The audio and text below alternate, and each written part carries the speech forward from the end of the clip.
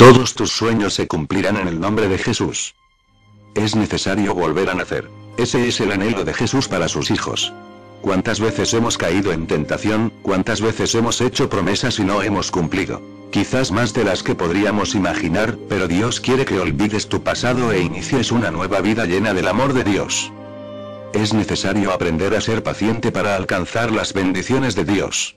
Dios le da a sus hijos solamente lo que es mejor para nosotros. Porque este mundo, y esta vida física es temporal, y este mundo está lleno de muchas vanidades, de riquezas superficiales, y deleites pasajeros. Pero lo que da Dios es, gracia, es paz, es bondad, es amor, son todas las virtudes que manifestó Jesucristo cuando vino a dar su mensaje de amor y salvación. Si quieres pedir algo a Dios, pide algo que prevalezca, pide algo que te haga fuerte en la fe en Cristo, pide lo que tu corazón necesita, pide lo que tu alma intensamente anhela, pero pídelo con humildad, pídelo con sabiduría, pero para alcanzarlo es necesario aprender a ver el mundo con los ojos del Espíritu Santo, esos nuevos ojos son tu conciencia, son tu sello con Dios, son tus verdaderas emociones, y cuando comprendas esto, cuando te dirijas en oración a Dios, pedirás de la siguiente manera. Señor Jesús, concédeme lo que tú sabes que es mejor para mí, que no se haga mi voluntad, quiero que se haga tu voluntad en mi vida.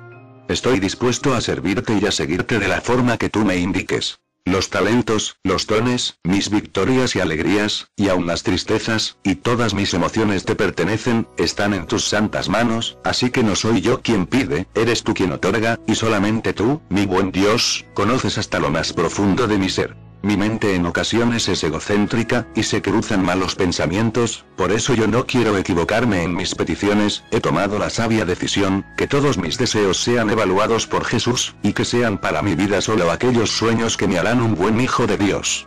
La fe, la esperanza y el amor, es mi fuerza, y la promesa de Dios para alcanzar la vida eterna en el nombre de Jesús, y gozar del reino perfecto de nuestro amado Señor Jesucristo.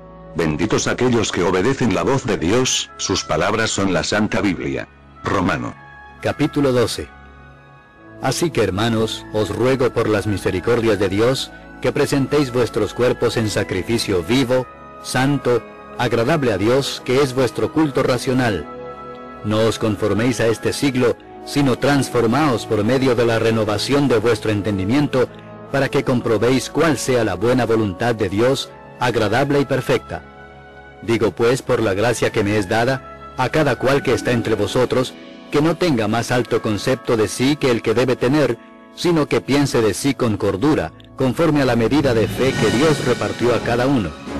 Porque de la manera que en un cuerpo tenemos muchos miembros, pero no todos los miembros tienen la misma función, así nosotros, siendo muchos, somos un cuerpo en Cristo, y todos miembros los unos de los otros.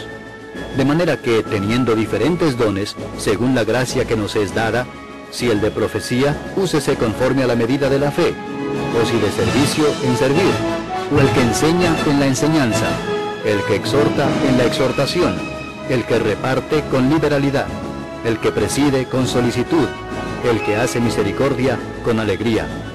El amor sea sin fingimiento, aborreced lo malo, seguid lo bueno Amaos los unos a los otros con amor fraternal, en cuanto a honra, prefiriéndoos los unos a los otros. En lo que requiere diligencia, no perezosos, fervientes en espíritu, sirviendo al Señor, gozosos en la esperanza, sufridos en la tribulación, constantes en la oración, compartiendo para las necesidades de los santos, practicando la hospitalidad.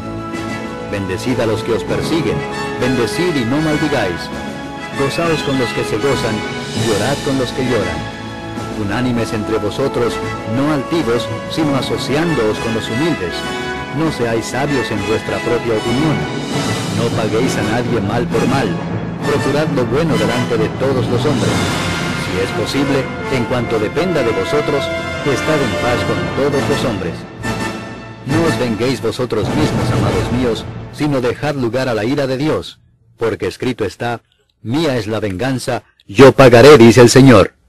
Así que si tu enemigo tuviere hambre, dale de comer, si tuviere sed, dale de beber, pues haciendo esto, ascuas de fuego amontonarás sobre su cabeza. No seas vencido de lo malo, sino vence con el bien el mal.